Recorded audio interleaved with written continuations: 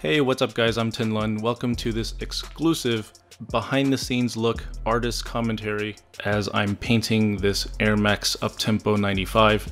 This is one of my all-time favorite shoes and um, I'm excited to kind of talk you guys through my thought process as I'm painting this thing. And now I'm not going to show you the entire thing in full speed because that would take forever.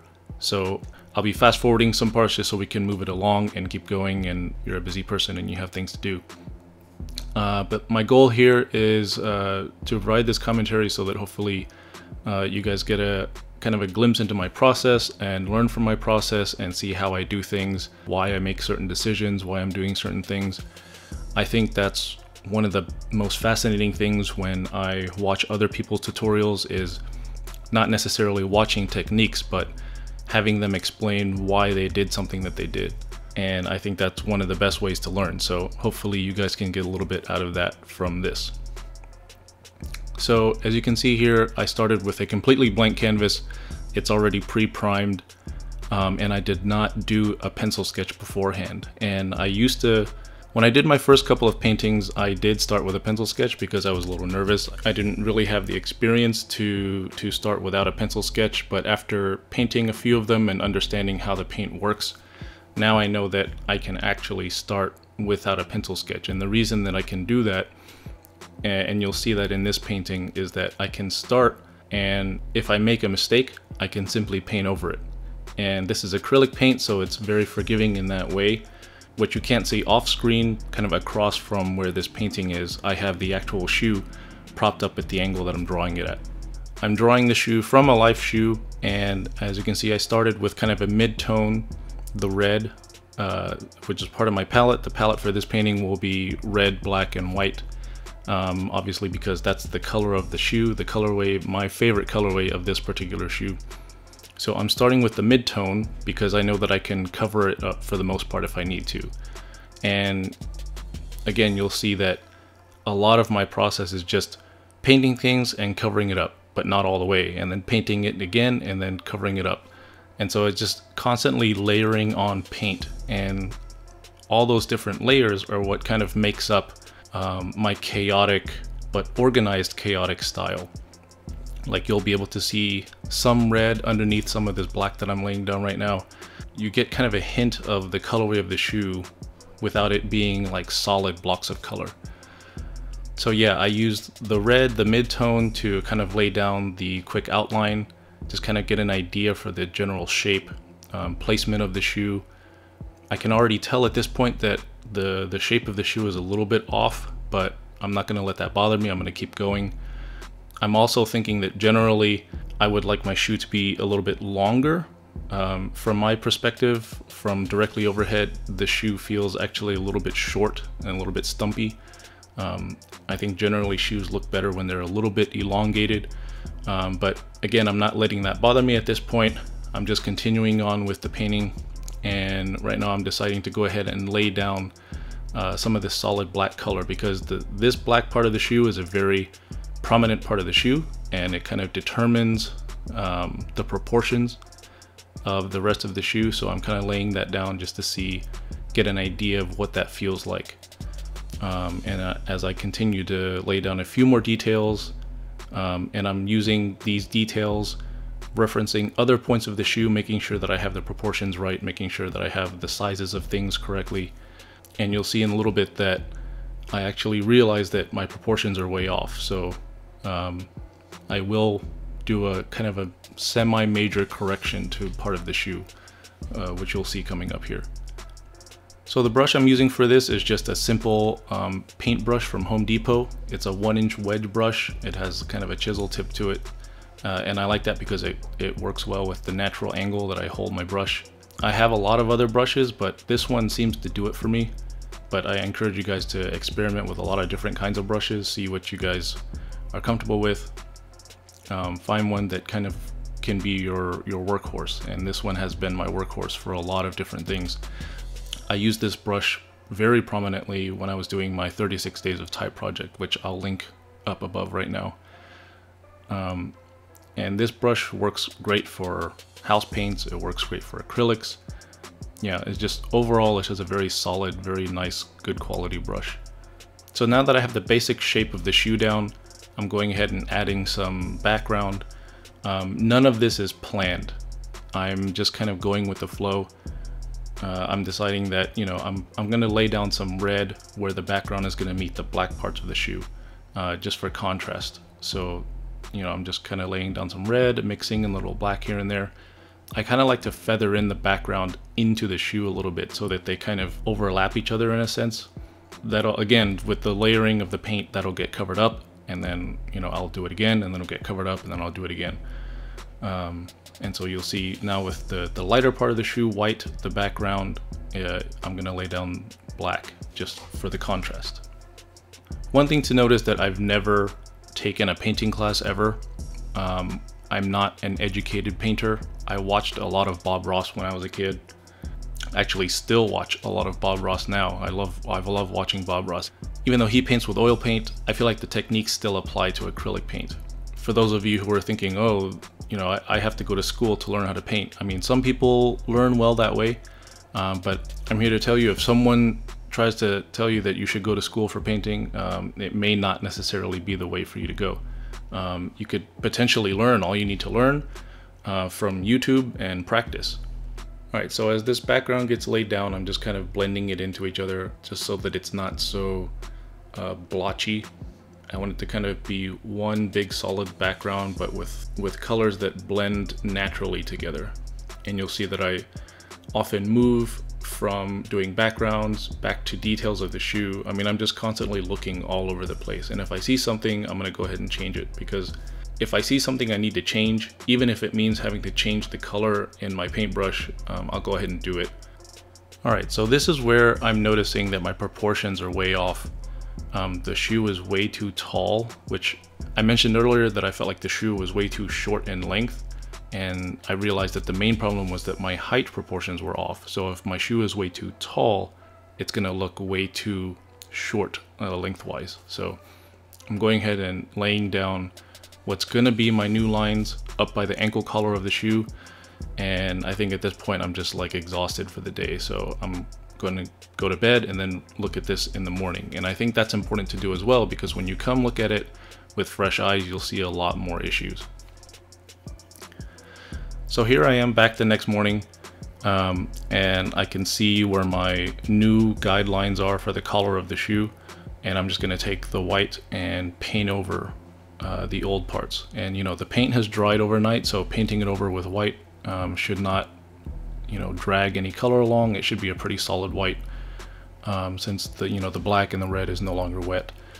I'm going ahead with the white and I'm just you know correcting the shape of the shoe. And you can kind of see that it's starting to look a little bit more more of the classic Nike shoe silhouette. And again even if you're even if you're doing this and you chop too much off you can always add it back in that's the beauty of the acrylic paint is that, you know, you chop too much off, you can add it back in. If you add too much, you can chop it off. And acrylic paint is just very forgiving in that way. Now that I'm watching this for a while, I'm noticing that I'm just turning my head so that I can watch what I'm doing. I'm tilting my head. I totally picked the wrong camera angle to shoot this painting since I'm painting it at the angle that I'm painting it. So I apologize to everyone who's whose heads are tilted, and I, I apologize if you guys develop a neck crick from watching this. Um, maybe you can rotate your monitor or something and, and watch it more upright. So one thing you'll notice that I'm constantly doing in addition to fixing the shape of the shoe, I'm also trying to define the exterior edge of the shoe. So in this case, I'm painting along the bottom of the shoe, um, making sure that that sole, where the sole ends, uh, is defined against the background. Um, and again, that's going to get painted over a little bit. You know, it, it's not going to be as defined as it is now. But as I do this along the way, it really helps me define the shape of the shoe. It adds layers and texture to the painting. It just generally contributes to, you know, the final product. You know, once you do it a few times and, you know, you realize that, you know, none of the, none of the strokes that you make have to be permanent. You can you can fix it, you can tweak it, and that really frees you up to just kind of go crazy with the painting. Whereas if you're drawing with pencil or you know some other medium and you make a mistake, you have to sit there and erase it.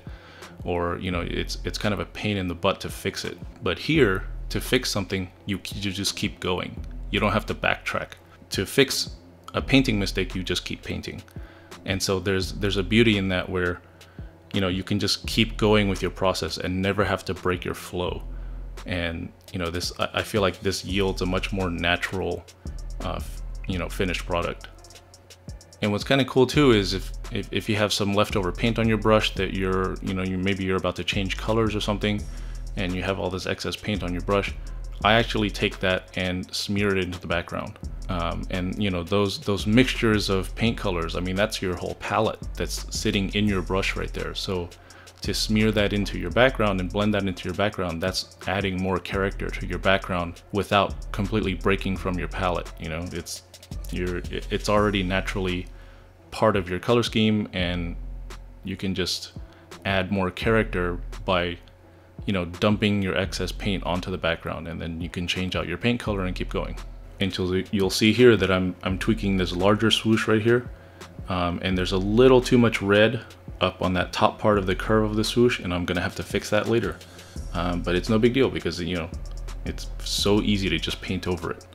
Or you can somehow work it into the style of your painting. I mean, that, that red splatter actually looks kind of cool. Um, I could keep that there. See, and I just love the way the texture builds when you have layers of paint over layers of paint. Um, even in that black part of the shoe, that big black stripe that goes across the middle, the actual shoe, that's just a solid black stripe. But in the painting, there's a lot of red in there, there's some white mixed in there, which makes some gray. And the way that that texture forms throughout all this layering, it, in a cool way, it's still, you know, you know that it reads as black, but there's like bits of red in there. And I think that's super cool that, you know, you, you look at the shoe and it's still generally the, the correct colorway of the shoe. But then you look closely and you're like, oh, there's some red in this black. Oh, there's some white in this red. And there's all sorts of color in this white part. You know, it, it's not a prominent part of it, but those little textures are kind of what give the painting the, the unique vibe. So at this point, I'm starting to feel pretty good about the shape of the shoe. I'm liking the proportions, so I'm starting to kind of make these uh, black outlines a little less prominent. You know, I the shoe itself has no black outlines on the upper. It's just a white upper. So I'm kind of fading that out a little bit and making it feel a little bit more natural. Here I am making some final tweaks and the black paint is actually, as it dries, it seeps into the canvas and creates this kind of dull color and it's not black black. And while I don't want the entire thing black, uh, I do want some parts of it to feel like jet black. So there are some parts where I'm gonna take the brush and I'm gonna dip it into some solid black. I'm gonna actually just kind of make some black streaks. And those streaks uh, will suggest enough heavy black that, okay, this section is heavy black, but just the whole thing doesn't have to be black. Those areas that I want to be more solid color, I'm leaving them as globs. I'm not I'm not spreading the paint out onto the canvas. I'm actually just basically dipping the brush into paint and I'm not brushing it onto the canvas. I'm more of just um, kind of letting it glop on. And the more solid that it sits on the canvas, you know, it's gonna take longer to dry, but it's gonna appear a lot more of a solid color.